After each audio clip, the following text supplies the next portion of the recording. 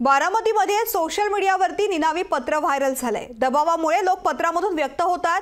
राजेंद्र पवार यांनी यावरती प्रतिक्रिया दिली आहे पवार साहेबांनी आपली भूमिका स्पष्ट केलेली आहे असं राजेंद्र पवार यांनी सांगितलंय. निनावी पत्रावाला पण तेवढं महत्त्व नसतं असं राजेंद्र पवार यांचं म्हणणं आहे.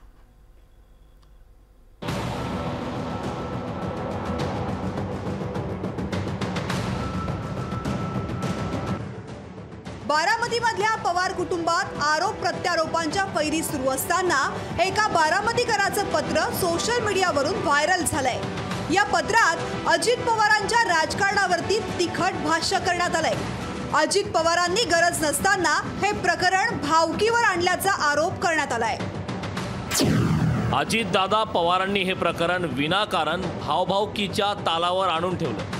पवारांच्या घरात शेतकरी कामगार पक्षाचं राजकारण होतं. स्वर्गवासी शारदाबाई पवार त्या त्यावेळच्या लोकल बोर्डाच्या मेंबर म्हणून निवडून आल्या होत्या. नंतर आप्पासाहेब पवार आपले बंधू शरद पवार यांच्यासोबत शेकापचं काम करू लागले. पण शरदरावांचा ओढा काँग्रेसकडे होता. याच पक्षात ते पुढे पुढे जात राहिले आणि आप्पासाहेबांनी शेतीकडे मोर्चा वळविला. पुढची पिढी जेव्हा तयार होत होती तेव्हा अनंतरावांचा मुलगा अजित आणि आप्पासाहेबांचा मुलगा राजेंद्र यांच्यापैकी कोणाला राजकारणात पाठवायचे याबाबत विचार होत होता. तेव्हा दोन्ही भावांनी अनंतरावांच्या मुलांसाठी काहीतरी केलं पाहिजे म्हणून राजेंद्र पवारांची क्षमता असून देखील अजित पवारांना पुढे केलं.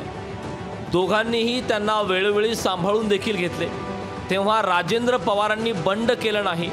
पुढचा इतिहास माहीतच आहे. पण तिसऱ्या पिढीत जेव्हा पार्थ की रोहित अशी निवड करायची ठरली तेव्हा आप्पासाहेबांचा थेट वारसदार म्हणून रोहितची निवड करून अप्रत्यक्षपणे राजेंद्र पवारांना न्याय देण्यात आला. तिथंपासून खरा जळफळाट सुरू झाला होता. सुप्रिया सुळे यांची कार्याध्यक्षपदी निवड झाल्यानंतर धाराशिवच्या काड्या पेटल्या आणि तोफांना बत्त्या लागल्या. म्हणूनच सामान्य बारामतीकरांची हीच भूमिका आहे की वाजवा तुतारी गाडा गद्दारी. एक बारामतीकर राजेंद्र पवारांनीही या पत्रात मांडण्यात आलेल्या भूमिकेशी सहमत असल्याचं सांगितलंय. निनावी पत्राद्वारे बारामतीकरांच्या भावना बाहेर आल्याचं त्यांनी सांगितलंय. निनावी पत्राला तेवढं महत्त्व नसतं.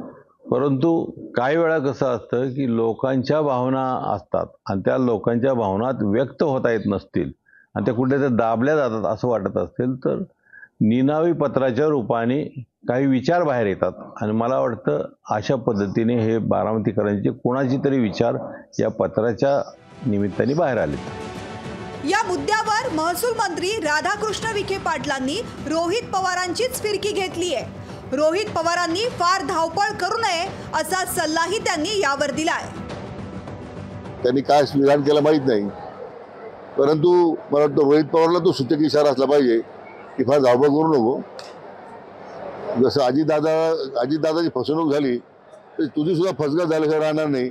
हेच मला वाटतं त्यांच्या वक्तव्यातून त्यांना सूचित करा सूचित करा करायचं होतं मला असं असं माझं मत आहे आय डोंट नो. सोशल मीडियावरील हे पत्र एका बारामतीकराची भूमिका आहे. पण हीच भूमिका बहुसंख्य बारामतीकरांची असेल तर अजित पवारांचं थोडं अवघडच म्हणावं लागेल. सोशल मीडियावर जे दिसतंय तेच खरं असतं असंही नाही. पण या पत्राच्या निमित्तानं पवार घराण्यातल्या संघर्षाचा आणखीन एक भडका उडालाय. विकास कोकरे लोकशाही मराठी बारामती. लोकशाही मराठी. ऐका पहा जागरूक रहा.